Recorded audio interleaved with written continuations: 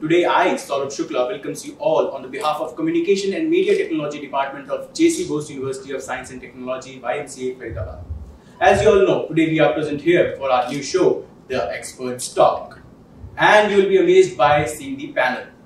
Today we have with us on the panel prominent academicians from all over the India. We have Dr. Rajasab Angadi, Vice Chancellor Tumkur University, Karnataka. We have Dr. Dibrendra Barua from Tezpur University, Assam. Dr. Prashant Maheshwari from Nagpur University, Maharashtra. Dr. Dilip Singh Barad from Bhavnagar University, Gujarat. And last but not the least, Dr. Himachalam Dasraju from Sri Venkateshwar University, Andhra Pradesh. So first of all, it's a clear statement that integration is the need of the hour. And with this, I will move on to the next question from Dr. Dilip Singh Barad. Sir, what do you think about the national education policy as people are saying it is hard to implement due to the digital integration and the aspects of digital integration? What's your take on that?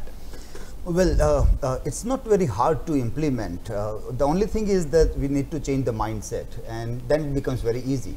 Uh, technology is something very interesting question in NEP and NEP has decided that uh, uh, the education system will integrate technology in a, in a very big way from the layman's way of using technology to artificial intelligence everything they are planning to integrate there and so what becomes important huh, when we look at technology integration into education system under NEP is that that we need to make teachers atmanirbhar huh, or self-reliant in the use of technology. Truly, truly, uh, institutional support will be there.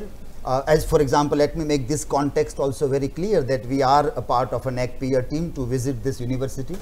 And here also we are like uh, assessing the technological gadgets and the studio which has uh, uh, been uh, set up in this university for e-content generation, for the technology integration by the teachers. So, we will see that what will be the end result of this recording also. Yes. Well, but institutes do develop the things, but teachers should have a control over their content.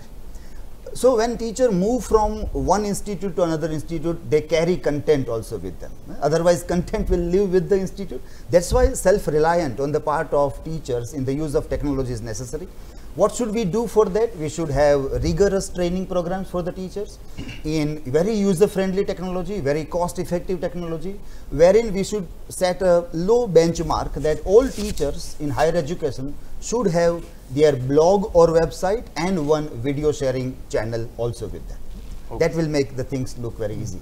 Thank you, sir. Thank you for clearing all the doubts about the digital integration. Now, let's uh, now on